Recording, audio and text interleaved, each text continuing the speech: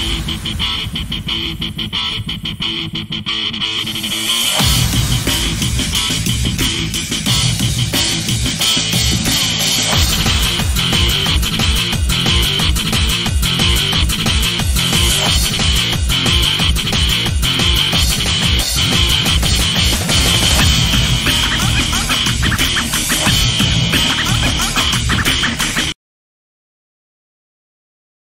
Aquí estamos con la nueva video reacción del día.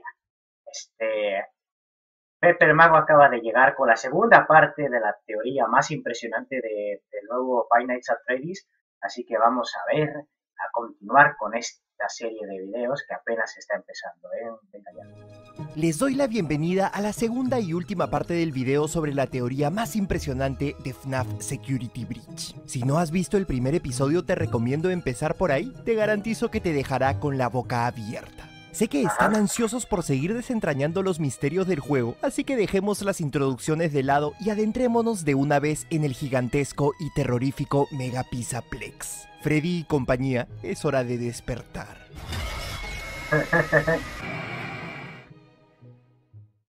En el anterior episodio teorizamos lo siguiente, que Glamrock Freddy estaba siendo poseído por el alma de Michael Afton, que Gregory era un robot creado a imagen y semejanza de Evan Afton, mejor conocido como el niño que llora, y que Vanessa era Elizabeth Afton. Si aceptamos esta teoría como cierta, Security Breach cierra con broche de oro la historia de estos tres hermanos. Pero según el genio de Swag Drácula, existen otros dos personajes que juegan un rol importantísimo en esta aventura. Henry Emily y la terrorífica de Cassidy. Si no conoces a este par, no te preocupes, que ahorita te pongo al día. Comencemos con Henry Emily. Este personaje apareció por primera vez en las novelas de Five Nights at Freddy's, donde nos cuentan que fundó la compañía de Freddy's Fazbear junto a su mejor amigo William Afton. Sí, el mismo que tiempo después mataría a un montón de niños inocentes. Este hombre era un genio mecánico y fue el responsable de construir a todos los animatrónicos del restaurante. Henry tenía una pequeña hija llamada Charlotte, pero como ocurre con la mayoría de niños en la saga de Alfredo y sus amigos, ella terminaría sufriendo un terrible destino.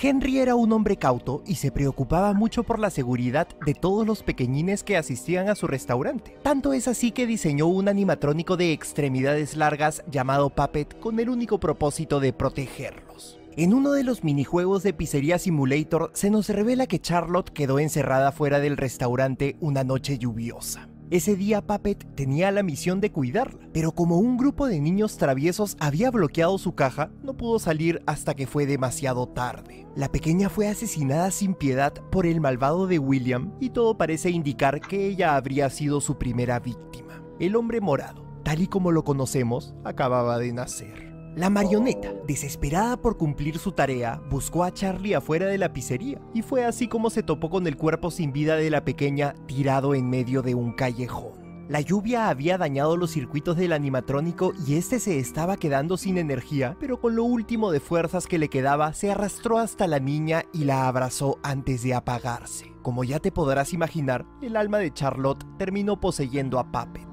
Tiempo después, ya con su instinto asesino completamente despierto, William se disfrazó de animatrónico y sin sentir remordimiento alguno, atrajo a cinco niños a la parte trasera de la pizzería donde los mató a sangre fría. Este terrible crimen pasaría a ser conocido como el incidente de los niños desaparecidos. Charlie, que ahora habitaba dentro de Puppet, metió el alma de estos pequeñines dentro de los robots de Freddy, Bonnie, Chica y Foxy para que así, todos juntos, pudiesen vengarse de su asesino.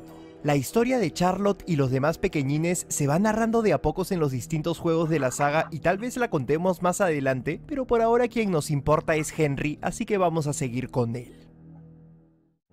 Como era de esperarse, el pobre hombre quedó destrozado luego de la muerte de su hija y para intentar olvidarse de todo, vendió sus acciones en Fazbear Entertainment y desapareció por muchos años. Durante su exilio descubrió que William Afton, su amigo de toda la vida, era en realidad un asesino serial que había matado no solo a su hija, sino a muchos otros niños inocentes, y que las almas de estos pequeñines estaban atrapadas dentro de los animatrónicos que él mismo había creado. Su pequeña Charlotte no podía descansar en paz ya que estaba dentro de Puppet.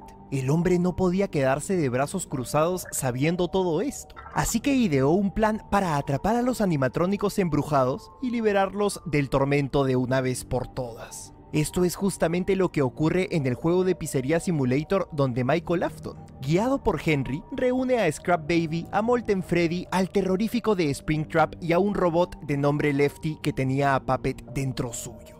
Como ya sabemos, Scrap Baby portaba el alma de Elizabeth Afton, Puppet la de Charlie Emily y Springtrap la del hombre morado. Al final del juego, la pizzería se incendia y todos estos animatrónicos, junto con Michael y con Henry, son consumidos por las llamas. Henry por fin pudo reunirse con la hija que le habían arrebatado tantos años atrás. Ahora toca que hablemos de la pequeña Cassidy, una de las tantas víctimas del monstruoso William Afton. Golden Freddy es uno de los personajes más misteriosos de toda la saga, ya que sus orígenes nunca han sido aclarados y sigue generando un montón de debates en la comunidad, pero la teoría más aceptada es que este animatrónico alberga el alma de una pequeña llamada Cassidy. Luego de su muerte a manos del hombre morado, Cassidy habría tomado la forma del oso amarillo, y a partir de ese momento se transformó en un espíritu rencoroso que lo único que quería era hacer sufrir a William Afton. Hay otra teoría muy popular que afirma que Golden Freddy estaría poseído también por el alma del niño que llora, pero para efectos de este video no la vamos a tener en cuenta. Tanto era el odio que Cassidy sentía, que cuando William es quemado por segunda vez, lo atrapa en un infierno que había creado específicamente para torturarlo en lugar de dejar que su alma muera y desaparezca. Su plan era atormentarlo por toda la eternidad. Se cree que esta es la trama de Ultimate Custom Night, donde nos ponemos en los zapatos del mismísimo hombre morado mientras somos acosados por más de 50 animatrónicos en una pesadilla sin fin. Lamentablemente para Cassidy y para todos los niños del mundo, William encuentra la manera de escapar y regresa al mundo real como Glitchtrap. Sin querer, la vengativa niña le había dado una nueva oportunidad para cumplir sus macabras perversiones. Ahora que ya conocemos la historia de Henry Emily y de Cassidy, podemos dar paso a la teoría. Swag Drácula plantea lo siguiente, que Henry Emily habría poseído a Glamrock Bonnie antes de los eventos del juego y le habría dejado un mensaje a Gregory, que Cassidy sería la protagonista de las arcades de Princess Quest y que al final mata al hombre morado de una vez por todas, consumando así su venganza. Todo esto suena demasiado descabellado, dices. Tranquilo que ahorita te presento toda la evidencia. Si nos quedamos en el Mega Pizzaplex pasadas las 6 de la mañana y conseguimos todas las mejoras para Freddy y la cámara fotográfica, podremos entrar en una habitación ultra secreta que es una recreación del cuarto donde Michael Afton veía televisión al final de cada noche en Sister Location. En una de las paredes se puede ver un código secreto, y aunque al comienzo nadie sabía qué significaba, la comunidad se las ingenió para descifrarlo en pocos días. Aún decodificado, el mensaje es difícil de entender ya que parece un acertijo, pero Swag Drácula tiene su propia manera de interpretarlo y la verdad es que hace mucho sentido. El código empieza así. Rompiendo y reparando, construí la respiración. Ellos ahora cazan, atraídos por la vida. En esta primera parte, el autor deja en claro que fue él quien creó a los animatrónicos, lo que significaría que se trata de Henry. La siguiente parte parece una ensalada de palabras complicadas, pero Drácula lo interpreta de esta manera. Ya no soy real, pero todavía sigo siendo yo. Según Swack, esto revela que el autor ya no es humano, pero que sigue manteniendo su conciencia. Ahora habitaría dentro de un animatrónico, y ese animatrónico sería Bonnie.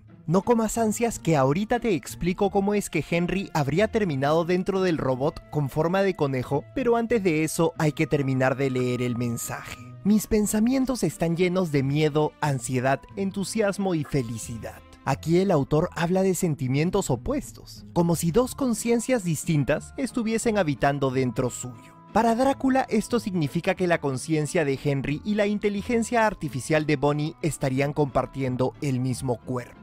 El mensaje continúa así. Agáchate, esquiva, flashea, dispara, arrástrate, corre y destruye a la vil banda. Esto parecen ser instrucciones para Gregory. Durante sus aventuras por el Mega Pizzaplex, el niño se agacha, esquiva robots, los flashea con su cámara, dispara con el Phaser Blaster, se arrastra por los ductos de ventilación y también corre. Todo para finalmente destruir a la vil banda de animatrónicos. El código termina diciendo lo siguiente. No llores ni tampoco intentes guardar esperanza. Tu vida y tus intenciones salvarán a aquellos que tienen almas. Aquí Henry le dice a Gregory que no llore, lo que refuerza aún más la teoría de que sería una recreación del niño que llora y que debe de resignarse y no guardar ninguna esperanza. Su misión ahora era salvar a aquellos que sí tenían almas, lo que no era su caso ya que Gregory sería un robot.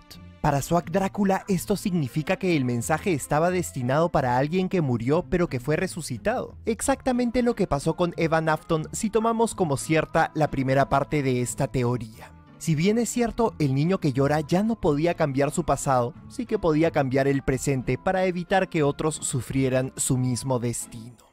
Henry habría estado transmitiendo instrucciones o programación desde ese lugar y Gregory, que era un autómata, las habría estado recibiendo y ejecutando al pie de la letra. Esto explicaría por qué el niño está tan obsesionado con destruir a los animatrónicos, a pesar de las súplicas de su buen amigo Alfredo. Interesante. Ahora hablemos de cómo el alma de Henry habría terminado dentro de Glamrock Bonnie gracias a las distintas notas que podemos encontrar esparcidas por el Mega Pizzaplex. Y a unas cuantas conversaciones con Freddy, sabemos que Glamrock Bonnie era el bajista de la banda antes de Monty, pero que desapareció una madrugada sin dejar rastro. Ahora bien, ¿recuerdas cuando dijimos que Freddy fue poseído por el espíritu de Michael luego de que se topó con su cadáver mientras limpiaba los restos del antiguo restaurante de pizzería Simulator? Bueno pues, según esta teoría, Glamrock Bonnie lo habría acompañado durante la misión y fue ahí donde terminó siendo poseído por el espíritu de Henry Emily. Como ya sabemos, Henry también murió en ese mismo lugar producto del incendio. Luego de esto, Bonnie habría empezado a comportarse de forma extraña. Esto se revela en un documento de seguridad donde podemos leer lo siguiente. 12 y 24 de la mañana. Se ha visto a Bonnie saliendo de su habitación verde en Rockstar Row para dirigirse al este en dirección al atrio. 2 y 40 de la mañana. Bonnie entra en la sala de arcades este. 4 y 12 de la mañana. Bonnie entra al golf de Monty. La nota lleva el título de desaparecido, lo que nos da a entender que esta fue la última vez que vieron al conejo azul. Si seguimos la ruta que se detalla en el mensaje, entonces el animatrónico habría visitado los lugares donde están las dos primeras arcades de Princess Quest para finalmente terminar en Monty Golf. Para Swag Drácula esto tiene una explicación. Henry habría sido el responsable de configurar las máquinas de Princess Quest. Existen tres de estas arcades regadas por el Mega Pizzaplex. Y si queremos sacar el final más bonito en el que Gregory, Vanessa y Freddy escapan sanos y salvos, será obligatorio completarlas. Aquí se nos pone en los zapatos de una princesa que deberá de resolver acertijos, conseguir mejoras e ítems y enfrentarse a todo tipo de enemigos con el propósito de sobrevivir. Se trata de un homenaje genial a la leyenda de Zelda. Seguramente te estás preguntando lo siguiente. ¿Con qué fin habría configurado Henry estas máquinas? La respuesta es simple. Sabía que Cassie, también conocida como Golden Freddy, era la única capaz de detener al hombre morado de una vez por todas. Como ya les adelanté, el alma de la vengativa niña habría ido a parar en los juegos de Princess Quest y sería ella la protagonista. La prueba más contundente la podemos encontrar en los archivos de Security Breach. Resulta que la princesa tiene nombre y no es otro que Cassidy. Esto no puede ser una coincidencia. Además, la chica es de color dorado igual que Golden Freddy y durante sus aventuras lucha contra monstruosidades con orejas de conejo, que como ya te podrás imaginar, están siendo controladas por su némesis y asesino Glitchtrap.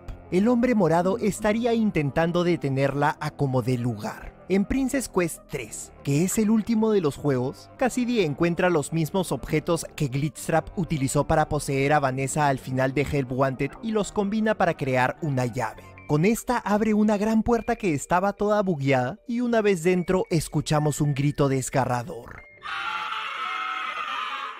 Según la teoría de Swag Drácula, estaríamos escuchando el último alarido de Glitchtrap luego de que Cassidy lo elimina para siempre. Gracias a esto, Vanessa es liberada del control de su padre y su alter ego Vanny desaparece sin dejar rastro. Después de tantos años, Cassidy por fin pudo consumar su venganza. Con esto hemos llegado al final de esta loca pero interesante teoría. La verdad es que me la he pasado genial haciendo estos videos y espero que ustedes se hayan divertido mucho mirándolos. Sé que muchos de ustedes tienen otras teorías y me encantaría leerlas, así que por favor no duden en dejármelas en los comentarios. Muchas gracias por ver este video, Pepe el Mago se despide y nos vemos en un próximo episodio. Pues bueno gente, hasta aquí me voy por ahora y nos vemos después.